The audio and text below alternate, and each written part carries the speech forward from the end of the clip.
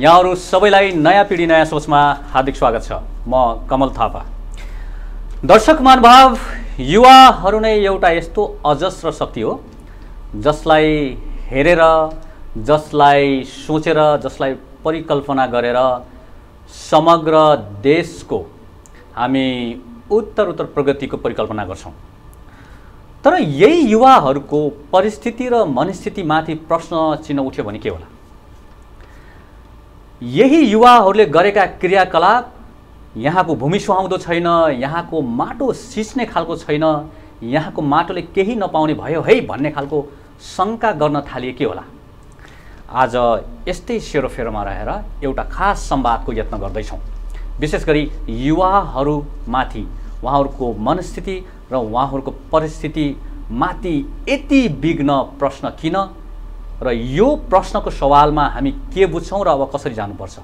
भन्ने सवालमा हामी केही साताबाट केही अगुवा पुस्तासँग उहाँहरूको मत उहाँहरूको अनुभव र उहाँहरूको मार्गदर्शन लिने कोसिस गर्दैछौँ। र आज पनि एकजना विद्वतजनलाई आमन्त्रित गरेका छौँ जसको अनुभव जसको दिशाबोध अनुरूप मतबाट आजको यो सेसनलाई खास बनाउने यत्नमा छौँ र केही समसामयिक विषयलाई पनि उठान गरी आजको यो संवाद खास बनाउनेछौँ। र आज हामीसँग पशुपति कलेज कोटियो हवाका निमित्त क्याम्पस प्रमुख जो करिब करिब दुई दशक बढीबाट सक्रिय रूपमा अनवरत शिक्षा क्षेत्रमा आफ्नो योगदान दिँदै हुनुहुन्छ र यसप्रति नै यही माटोबाट शिक्षाको माटोबाट मात्रै हामीले सम्भावनाका युवाहरू सम्भावनाका पुस्ताहरू निर्माण गर्न सक्छौँ भन्ने मत राख्नुहुन्छ जित बहादुर राजकोटीजी आज हामी उहाँ उहाँसँग कुरा गर्छौँ।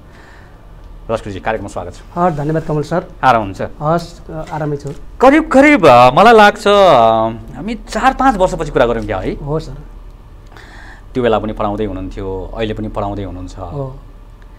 करिब करिब तपाईँ आफैसँग अनौपचारिक कुरा आउँदाखेरि बाइस वर्ष करिब पढाउन। थालेको हुन थाल्यो नेपाली समाजले एउटा प्रश्न सोध्ने गर्छ क्या सामान्यतया।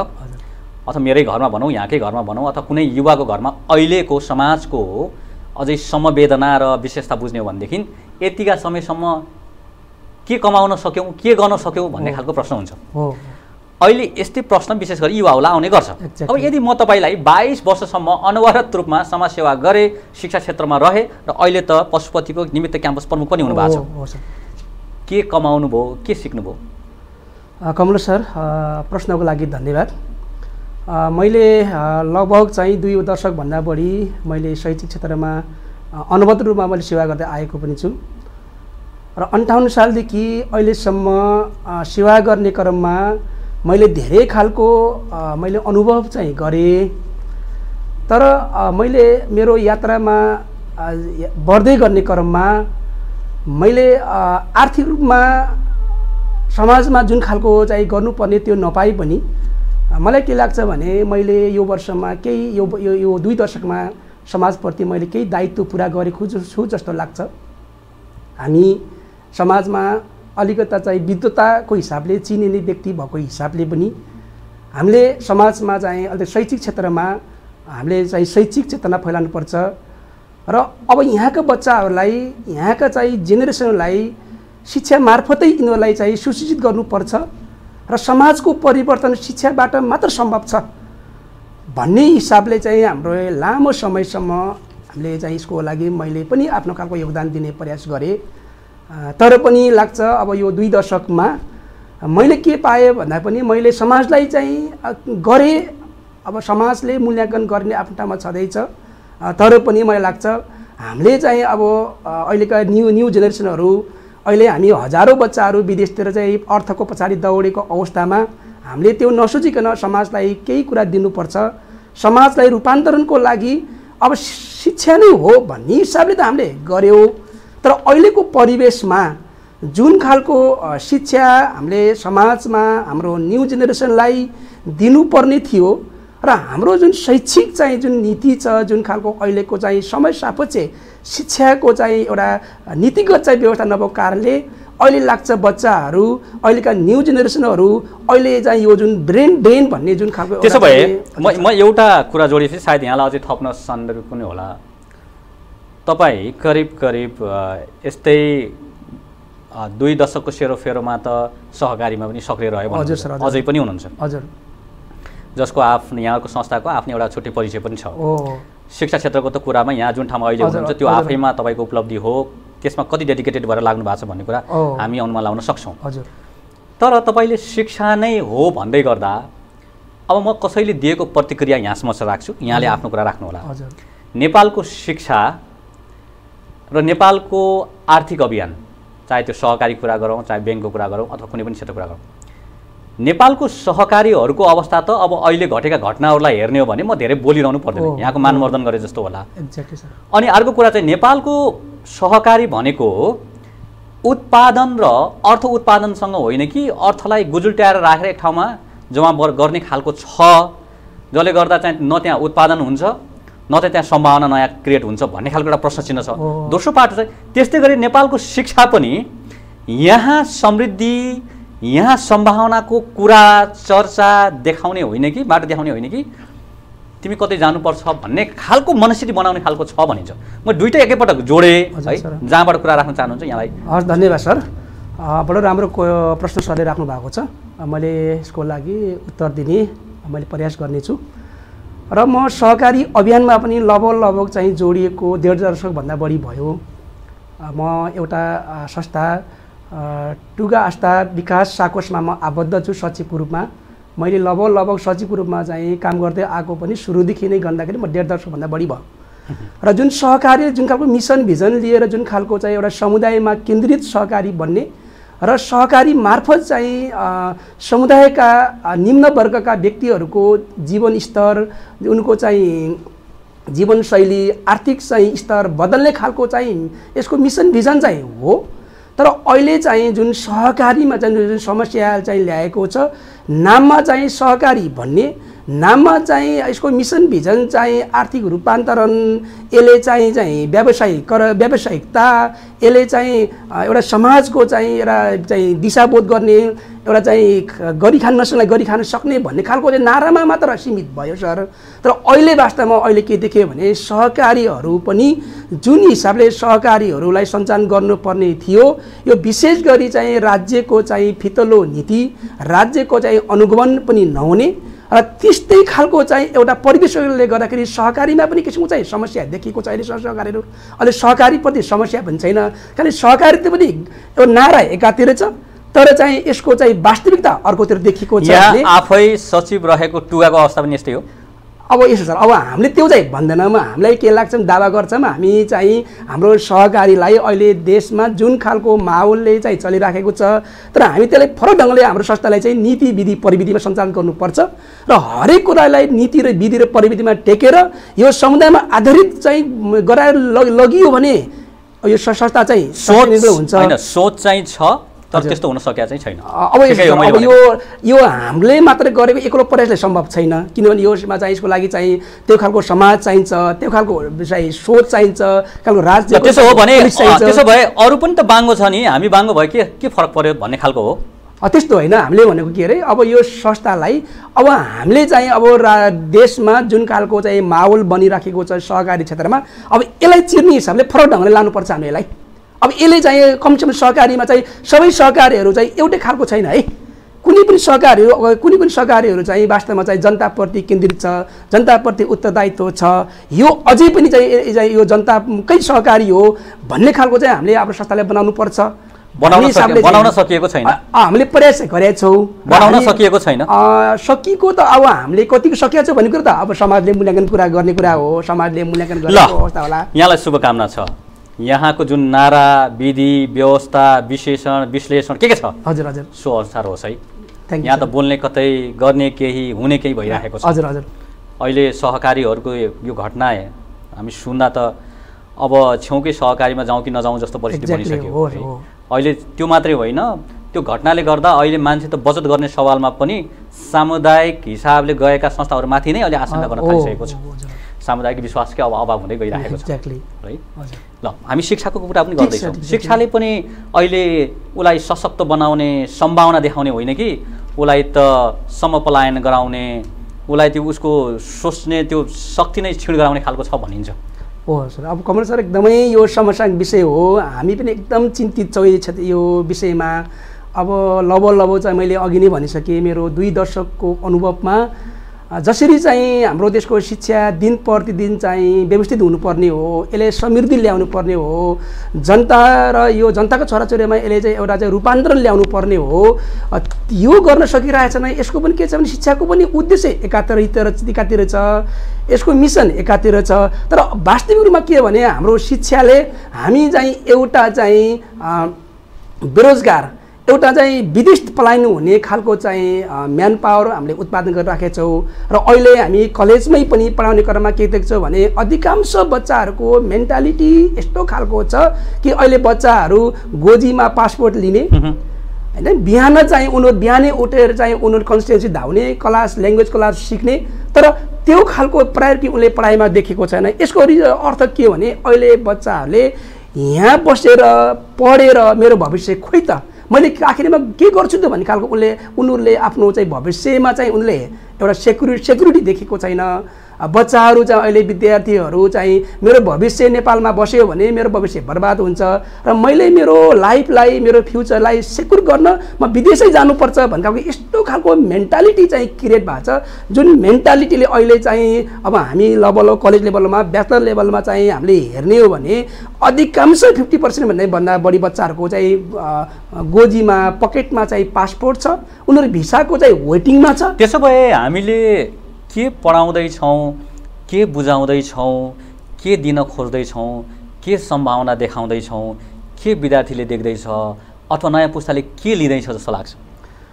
यस अब यो के भने यो जुन नयाँ पुस्तालाई पुस्तान्तरण गर्ने क्रममा नयाँ पुस्तालाई हामीले एउटा लिड गर्ने क्रममा नयाँ पुस्तालाई गाइड गर्ने क्रममा हामी अलिकता चाहिँ जुन खालको हामी आफूलाई अग्रज भन्छौँ यसमा पनि अलिकता चाहिँ हाम्रो कमजोरी छ। अहिले चाहिँ विशेष गरी अहिले हाम्रै देशमा हेऱ्यो भने जुन खालको चाहिँ एउटा नीतिगत शासन व्यवस्था छ जुन राज्यको चाहिँ एउटा चाहिँ नीतिगत चाहिँ कार्यक्रम आउनुपर्ने हो यु युवाहरूलाई यहीँ देशमै रोक्नको लागि यो माटोमै चाहिँ परिश्रम गराउनको लागि र युवाहरूको भविष्य चाहिँ यहीँ नै बस्छ यहीँ नै ठिक छ भन्ने खालको एस्योर गराउने खालको राज्यमा कुनै खालको कार्यक्रम देखिँदैन। अहिले त के देखिन्छ भने अब राज्यले पनि सहज रूपमा विदेशतिर जाने बाटो खोलिदिने।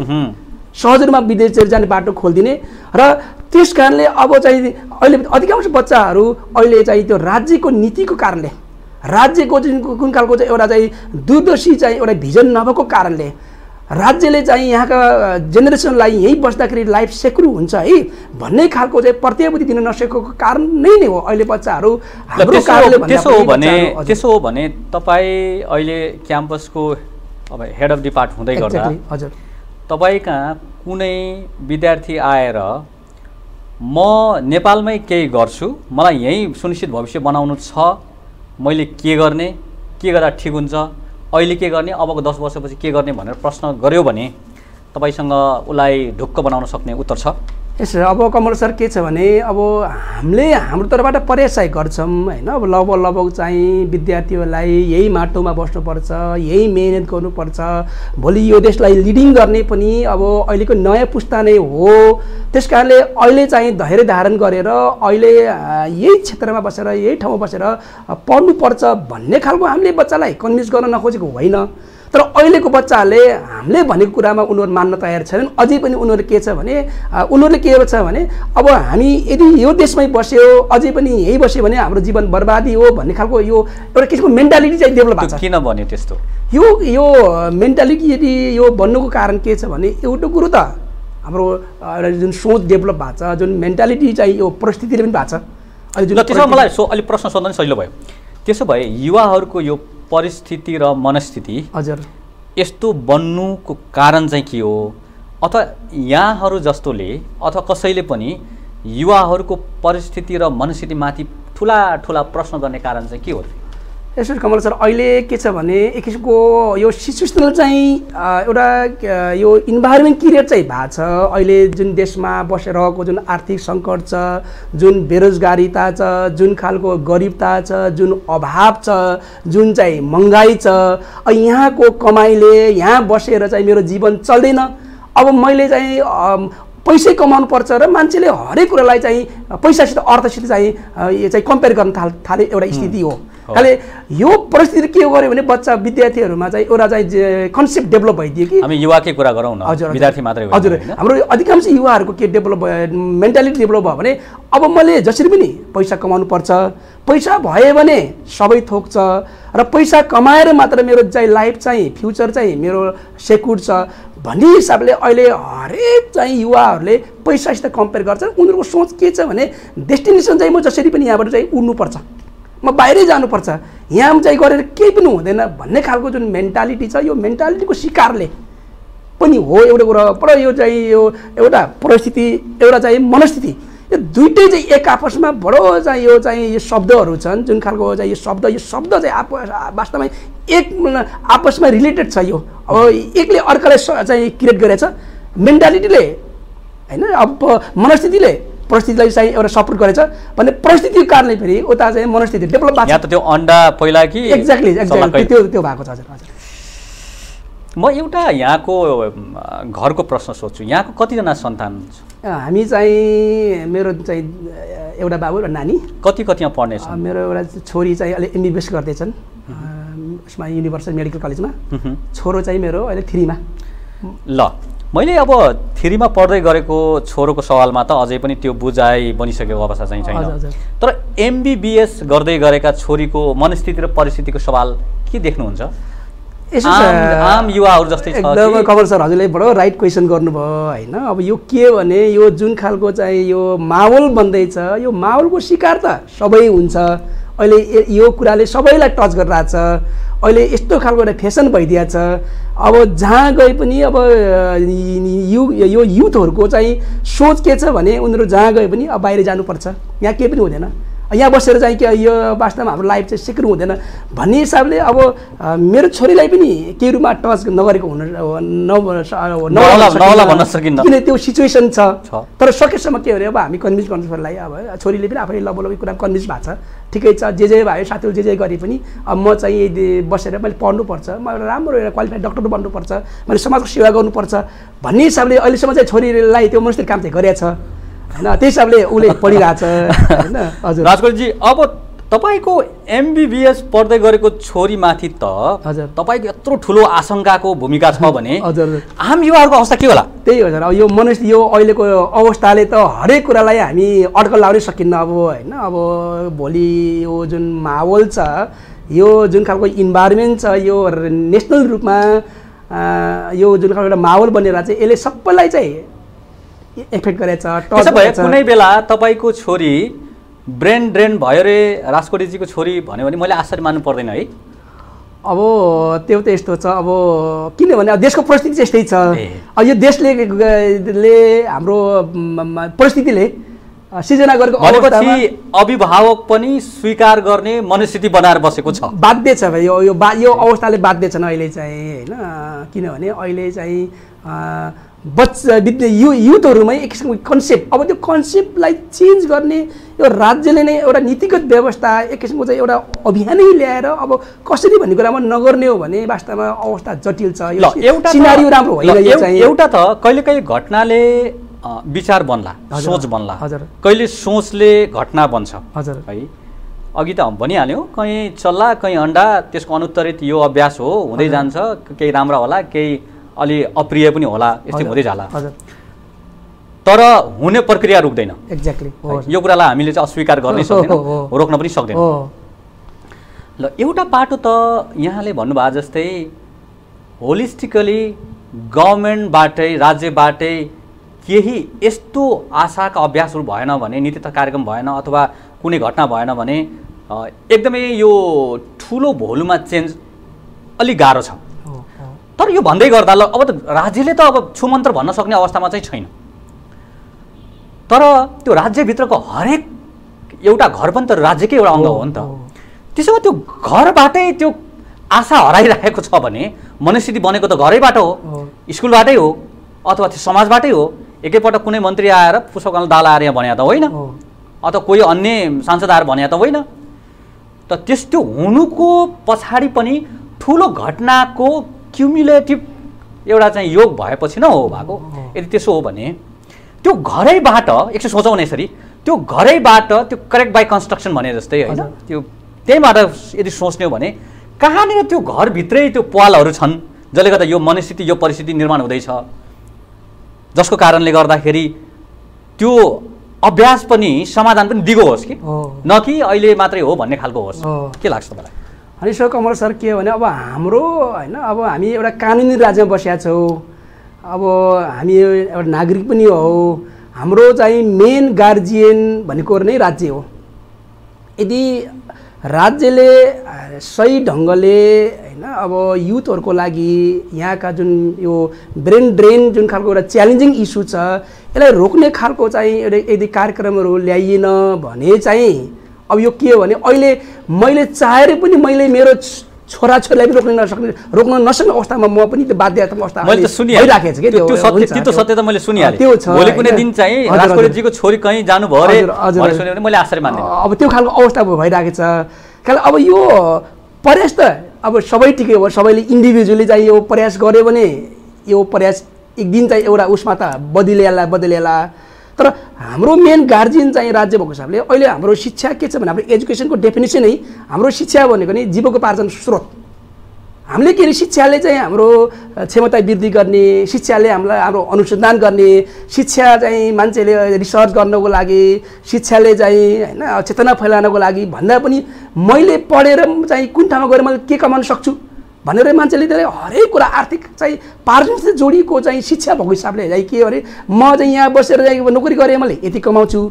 यही चिज चाहिँ मैले यही मेहनत चाहिँ मैले बाहिर गयो भने मैले डलरमा यति कमाउँछु भन्ने खालको चाहिँ बच्चाको सोच बनेपछि बच्चा त्यही हिसाबले चाहिँ दिनदिनै चाहिँ उनीहरू चाहिँ ब्रेन ड्रेनको चाहिँ भिक्टिम बन्छ। त्यस कारणले यो कुरामा के भने यो मलाई के लाग्छ भने आफूले यो पेसामा लाग्दै गर्ने क्रममा हामीले पढाएको शिक्षा पनि चाहिँ कहिले यो गलत छ यो वास्तवमा चाहिँ बच्चाको सेन्टिमेन्ट अनुसार छैन। अहिलेको चाहिँ युग अनुसार समस्या पछि छैन।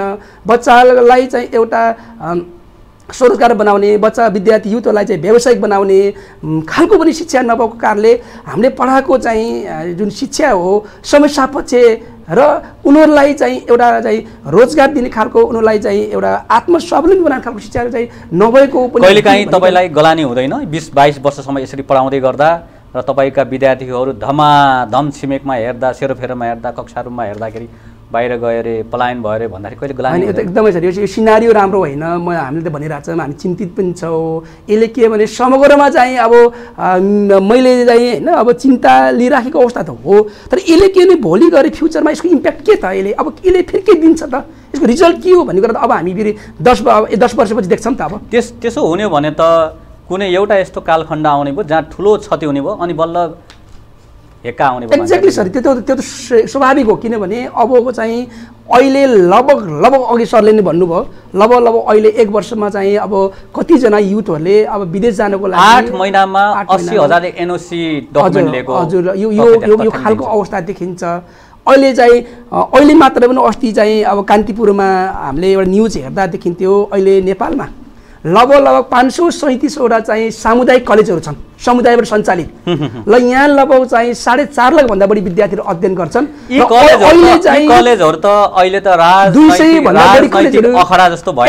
हजुर हजुर हजुर। अब अहिले दुई सौ भन्दा बढी कलेजहरू सङ्कटमा छन्। बिस्तारै चाहिँ अब विद्यार्थीहरू भोलि पढ्ने विद्यार्थीहरू यहाँबाट ओहिरो लाग्दै गएपछि स्थिति यो पनि छ। मैले त यस्तो पनि सुने देखेँ कि विद्यार्थीहरू भर्ना हुन नै नगएर पटक पटक भर्नाको सूचना निकालेको परिस्थिति पनि एकदम थियो। एकदम यो समस्या यो यो क्राइसिस यो समस्या अहिले दिन दिनदिनै बढिराखेको अवस्था छ यो भइराखेको अवस्था छ यो चाहिँ सिनारियो राम्रो होइन? ल त्यसो हो भने यसो गरौँ त त्यसमा युवाहरूमा यो मनस्थिति यो परिस्थिति बन्नु एउटा त यहाँले इङ्गित गरिहाल्नुभयो सरकारको पनि एउटा आफ्नै किसिमको अथवा राजनैतिक अस्थिरताको पनि आफ्नै किसिमको कारण चाहिँ होला।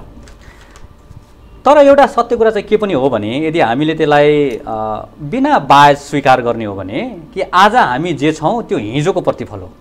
भोलि जे हुनेछ। त्यो आजको प्रतिफल हुनेछ। यदि त्यसो हो भने युवाहरूको यो परिस्थिति र यो मनस्थिति बन्नुमा तपाईँहरू जस्तो म जस्तो पाका पुस्ताहरूको चाहिँ कहाँनिर त्यस्तो यो हेलचेक्राइ र- रह्यो? कहाँनिर हाम्रो कमी कमजोरी रह्यो? जुन चाहिँ हामीले बोध गर्नुपर्छ जस्तो लाग्छ।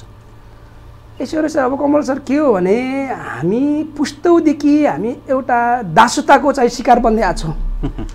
हामी पुस्तौदेखि यस्तो एउटा स्लेबरी जुन खालको यो मेन्टालिटीको शिकार बन्दै आएको छौँ। हामी हिजोदेखि नै लाउरे हुने विदेश जाने विदेश गएकोलाई चाहिँ ठुलो मान्ने पैसा हुनेलाई हामी पुज्ने यो संस्कार छ। यो संस्कारको शिकारले पनि यो भइराखेको छ। र यो कुरालाई अब युवाहरूले युवाहरूलाई अलिक रूपान्तरण गर्नको लागि अब मैले पनि इन्डिभिजुअली मेरो घरदेखि म आफैबाट पनि यो सुरुवात चाहिँ गर्नै पर्छ यसको विकल्प पनि छैन।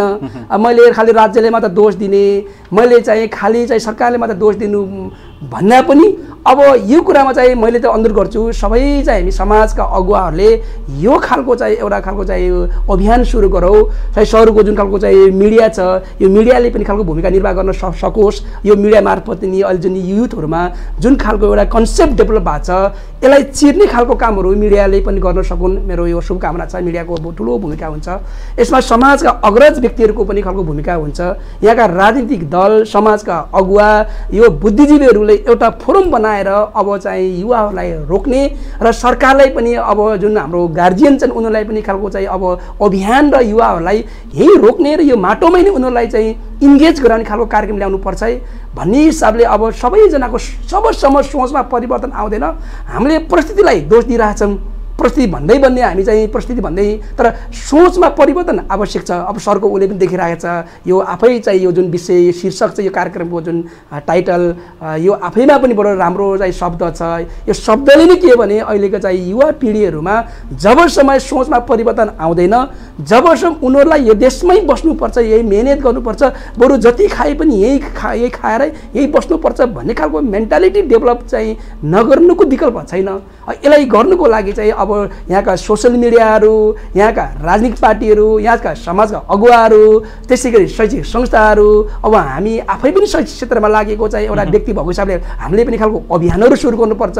र यो सबै कुरालाई चाहिँ हामी इन्टिग्रेट गरेर यसलाई चाहिँ ऊ गरेर अगाडि बढायो भने अब केही कुराहरू अब बिस्तारै अब यो परिवर्तन हुन चाहिँ पनि सक्ने सम्भावना हुन्छ। त्यो पनि हुन्छ। राजकोटीजी कुनै पनि एउटा व्यक्ति प्लान हुनु दिगो पर्सपेक्टिभबाट सस्टेनेबल इम्प्याक्टको सेन्स लेन्सबाट हेर्दाखेरि कुनै एउटा मान्छे प्लान हुनु र मान्छेहरू जस्तोको सोच पलायन हुनुमा कुन चाहिँ खतरनाक हो र किन हो?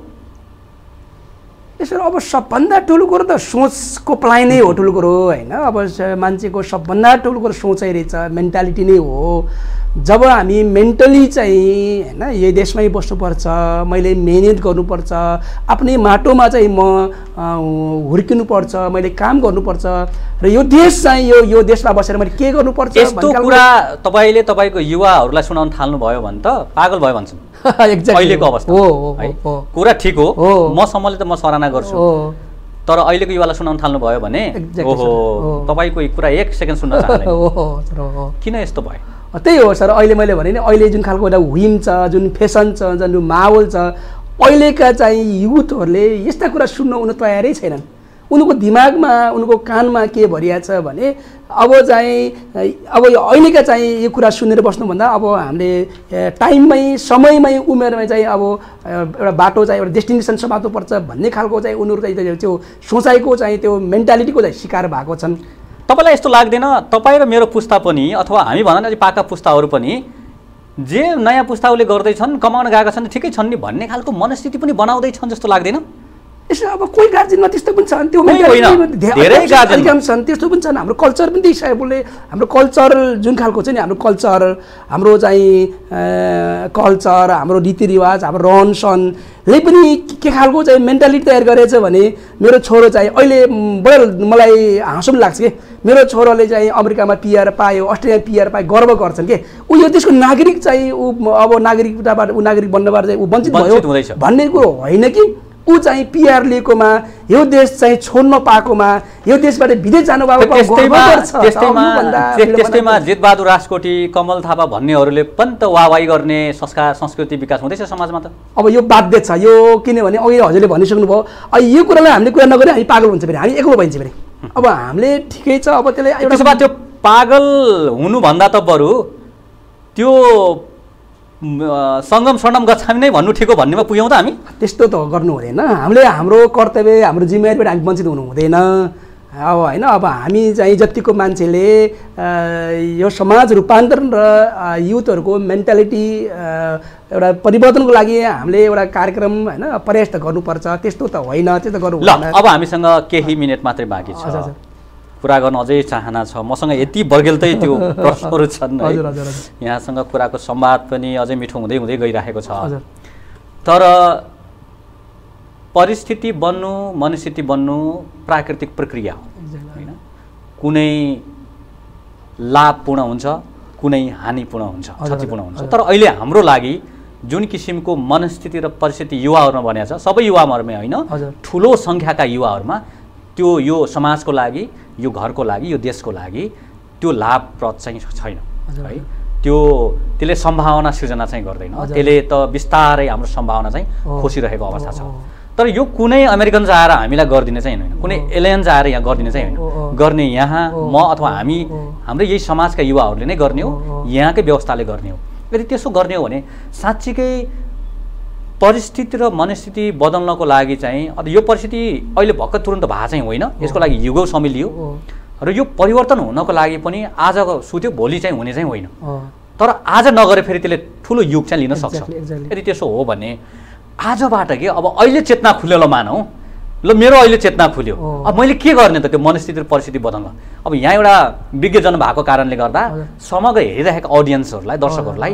सुझाइदिनु पऱ्यो बाबुआमालाई सुझाइदिनु पऱ्यो दाजुभाइलाई सुझाइदिनु पऱ्यो विद्यार्थीलाई सुझाइदिनु पऱ्यो यो ठिकै हो है भन्ने विज्ञजनलाई नै सुझाइदिनु पऱ्यो। तपाईँको सुझाव के रहन्छ अन्त्यमा? अनि सर कमल सर एकदमै अब यो च्यालेन्जिङ इस्यु हो। अहिलेको जुन ब्रेन ड्रेन छ जुन शैक्षिक पलायन छ जुन जनशक्ति पलायन छ मैले त अब इभन यतिसम्म देखिरहेको छु युथहरू त पलायन भयो भयो। अहिलेका चाहिँ एकदमै इफिसियन्ट म्यान पावरहरू जो यहाँ जागिरमा उनीहरू इन्गेज भएकाहरू पनि अहिले दिनदिनै पलायन भएको अवस्था पनि देखिरहेको अवस्था मैले देखिरहेको छु। त्यस कारणले अब यसलाई चाहिँ अब हामी करेक्सन नगर्नुको विकल्प चाहिँ छैन। अब करेक्सन गर्नको लागि अब सुरुवात त कहीँ न गर्नुपर्छ? त्यसको लागि चाहिँ अब मैले अब सम्पूर्ण अहिले टेलिभिजन हेरिराख्नु हुने सम्पूर्ण हाम्रा आदरणीय दर्शकजीहरू हाम्रा महानुभावहरू सबैलाई पनि के अनुरोध गर्न चाहन्छु भने हामी चाहिँ समृद्धि आफ्नो देशमा ल्याउनुपर्छ। जबसम्म समृद्धि विकास आफ्नो ठाउँमा ल्याउँदैनौँ तबसम्म चाहिँ हाम्रो विकास पनि हुँदैन हाम्रो हाम्रो लागि समृद्धि पनि आउँदैन। त्यस कारणले अब हामीले चाहिँ अब जेसुकै भए पनि आफ्नै माटोमै चाहिँ दुःख गर्ने आफ्नै माटोमा परिश्रम गर्ने खालको चाहिँ अब मनस्थिति साथ चाहिँ अब हामीले हाम्रो नानी बाबुहरूलाई छोराछोरीलाई घरैबाट काउन्सिलिङ गरौँ घरैबाट चाहिँ उनीहरूलाई किसिमको चाहिँ हामीले गाइडेन्स गरौँ र उनीहरूलाई चाहिँ अब बिस्तारै बिस्तारै यो किनभने एकैचोटि चाहिँ अब यो होइन अब सडनली चाहिँ यो गर्न सकिने कुरो पनि होइन। यसलाई चाहिँ ग्रेजुअली स्लोली यसलाई चाहिँ बिस्तारै बिस्तारै अब युथहरूलाई यो अभियान चाहिँ चलाऊ। र म त के अब टुल जुन बुद्ध टेलिभिजनले जुन खालको कार्यक्रम सञ्चालन गर्नुभएको छ यो पनि चाहिँ यो मेन्टालिटी परिवर्तनको एउटा यो अभियान हो यो पनि। यसले पनि ठुलो सपोर्ट गरिराखेको छ। त्यस कारणले यस्ता खालको सोसियल मिडियाहरूले पनि खालको अभियान गर्नु पर्यो। अ, त्यो खालको चाहिँ अब हामी जो जहाँ छौँ अब सबैजनाले आफ्नो ठाउँबाट अब हामीले चाहिँ आफ्नै ठाउँमा आफ्नै माटोमा रमाउने र विशेष गरी चाहिँ हाम्रो शिक्षा कति गलत हो भने यसलाई करेक्सन गरेर हामीले सुझाव दिइरहेको छौँ हामीले त। अब जुन पोलिसी मेकरहरू छन् पोलिसी मेकरलाई हामी भनिरहेछौँ होइन हाम्रो ट्रेनिङहरू भइरहेको छ। ट्रेनिङहरूमा हामीले भन्छौँ हाम्रो कोर्स हाम्रो सिलेबस हामीले पढाएको करिकुलम चाहिँ वास्तवमा सप समय सापची छैन। यो यो करिकुलमले बच्चालाई चाहिँ स्वावलम्बी बनाउँदैन। बच्चालाई चाहिँ एउटा चाहिँ आत्मनिर्भर बनाउँदैन। यो बच्चा यो किताबले त खालि विदेश जाने चाहिँ एउटा चाहिँ जनरेसन तयार गर्यो। खालि विदेश गयो यो किताब पढ्ने विदेश जाने मात्र भइदियो। यसले त हामीलाई त यो कि शिक्षाले त बच्चालाई त अपाङ्ग बनायो। यसले मेन्टल चाहिँ डिसेबल बनाइदियो यसले। एउटा मेन्टली ह्यान्डिक्याप बनाइदियो यसले चाहिँ। त्यस कारणले यो शिक्षालाई करेक्सन गर्ने कुरामा पनि राज्यको चाहिँ ध्यान जाओस्। अहिले त स्थानीय सरकार छ। स्थानीय सरकारले पनि आफ्नो तहबाट करिकुलम डेभलप गर्ने सरकारको अधिकार छ। प्रदेश सरकार छ। त्यही हिसाबले चाहिँ अब सङ्घीय सरकार छ। यो सङ्घीय सरकारले एउटा प्रोग्राम ल्याएर सबै चाहिँ व्यक्तिहरूलाई त्यसमा समाहित गर्दै अब जसरी पनि यो समृद्धि चाहिँ देशमै ल्याउनुपर्छ र यसको लागि चाहिँ मेन चाहिँ मुख्य माध्यम भनेको चाहिँ शिक्षा नै हो। अहिले हाम्रो शिक्षामा करेक्सन गर्दै लगियो र यहाँका युथहरूलाई शिक्षाको माध्यमले यहाँले यहाँ नै रोक्ने खालको प्रयास चाहिँ गर्नुपर्छ। भन्ने कुरामा चाहिँ अब सबैजनाले चाहिँ यसलाई अभियानको रूपमा सञ्चालन गरेर यसलाई चाहिँ अगाडि बढाउन सकियो भने यसलाई बिस्तारै अब अहिलेको आजको भोलि नहोला तर यसलाई बिस्तारै रूपमा यसलाई चाहिँ चेन्ज गरेर र सबभन्दा चाहिँ मेरो पनि सोच के हो भने मेरो चाहिँ आफ्नो भनाइ चाहिँ यो मेन्टालिटीमा चाहिँ ठुलो यो ऊ छ मेन्टालिटीकै हामी सिकार बनेर छौँ यो मेन्टालिटी नै हामी चेन्ज गर्नको लागि यो अभियानकै रूपमा चाहिँ सुरु गर्नुपर्छ। त्यो भइदियो भने बल्ल बच्चाहरू विद्यार्थीहरू युथहरू यही रोक्ने अवस्था रहला। यहाँलाई समय र विचारको लागि धेरै धन्यवाद। जुन ठाउँमा हुनुहुन्छ यहाँको कार्य सम्पादन यहाँको नेतृत्व अरूको लागि पनि उदाहरण बनोस्। धन्यवाद कमल सर। समय विचारको लागि धेरै। हस् धन्यवाद। कमल सर। आदरणीय दर्शक महानुभाव सम्भावना देखेको छैन युवाले यहाँ। समृद्धि कुनै परदेशको भूमिमा खोजिरहेको छ यो युवाले। यो युवालाई को परिस्थिति र मनस्थितिमा प्रश्न चिन्ह स्वाभाविक हो। तर कुरा चाहिँ के हो भने के यो परिस्थिति बन्नको लागि आजको युवाहरू मात्रै जिम्मेवार छन् त? के यो परिस्थिति बन्नको लागि आजकै घटना मात्रै पर्याप्त हो त? निसन्देह होइन। यो परिस्थिति यो मनस्थिति बन्न युगौँ लागे जस्तै। अब हामीले पनि समृद्धि सम्भावना र यहीँ केही उदाहरण निर्माण गर्नको लागि हामीलाई पनि धेरै धेरै समय लाग्छ। तर अब चाहिँ हामी अब ढिलो गऱ्यौँ भने फेरि अर्को युग लिन सक्छ। तर त्यसको लागि चाहे राज्य होस् चाहे परिवार होस् चाहे स्वयं युवा नै किन नहोस् तर विशेष गरी जो मार्गदर्शकहरू हुनुहुन्छ उहाँहरूमा देखिएको ठुलो घटनाले समाजमा ठुलो सोचको निर्माण हुन्छ। त्यस कारणले गर्दाखेरि पनि आउनुहोस् हामीभन्दा अगाडिका पुस्ताहरूले पनि गम्भीर भएर सोचौँ र अहिलेका पुस्ताहरूले पनि आफ्नो दायित्वबोध यहीँ केन्द्रित गरौँ। यही आग्रह गर्दै बिदा हुन चाहन्छौँ। नमस्कार।